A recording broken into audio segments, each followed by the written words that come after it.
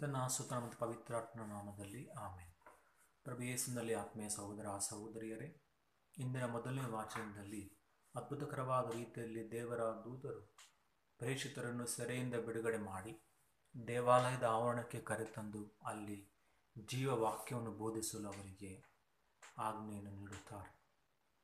ಶುಭ ಸಂದೇಶದಲ್ಲಿ ಪ್ರಭು ನಿಕೋದೇಮನಿಗೆ ಜಗತ್ತಿನ ಮನುಕುಲದ ಮೇಲೆ ದೇವರಿಗೆ ಇದ್ದಂಥ ಅಪರಿಮಿತ ಪ್ರೀತಿಯ ಬಗ್ಗೆ ಹೇಳುತ್ತಾರೆ. ದೇವರು ಈ ಲೋಕವನ್ನು ಎಷ್ಟಾಗಿ ಪ್ರೀತಿಸಿದರೆಂದರೆ ತನ್ನ ಒಬ್ಬನೇ ಮಗನನ್ನು ಧಾರೆ ಇರುವಷ್ಟು ಪ್ರೀತಿಸಿದರು. ಅವರಲ್ಲಿ ವಿಶ್ವಾಸವಿಡ ಪ್ರತಿಯೊಬ್ಬನೂ ನಾಶವಾಗದೆ ನಿತ್ಯ ಜೀವನ ಪಡೆಯಬೇಕೆಂಬುದೇ ದೇವರ ಸಂಕಲ್ಪ ಎಂದು ಹೇಳುತ್ತಾರೆ. ಜಗಜ್ಯೋತಿ ಈ ಜಗತ್ತಿಗೆ ಬಂದಿದ್ದರೂ ಜನರು ಕತ್ತಲೆಯನ್ನು ಪ್ರೀತಿಸಿದರು. ಏಕೆಂದರೆ ಅವರ ಕಾರ್ಯಗಳು ಕತ್ತಲೆಮಯವಾಗಿದ್ದವು ಎಂದು ಪ್ರಭು ಯೇಸು ಇಂದಿನ ಶುಭ ಸಂದೇಶದಲ್ಲಿ ಹೇಳುತ್ತಾರೆ.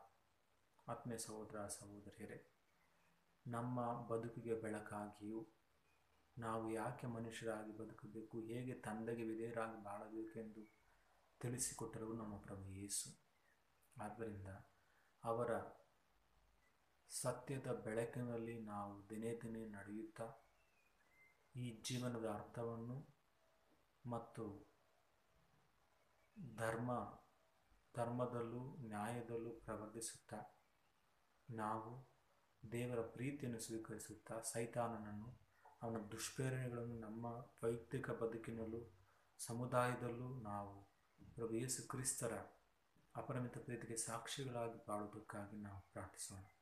ಸರ್ವಶಕ್ತ ದೇವರಾದ, ಪಿತಾಸು ಮತ್ತು ಪವಿತ್ರಾತ್ಮರು ನಿಮ್ಮನ್ನು ಆಶೀರ್ವದಿಸಲಿ. ಆಮೇಲೆ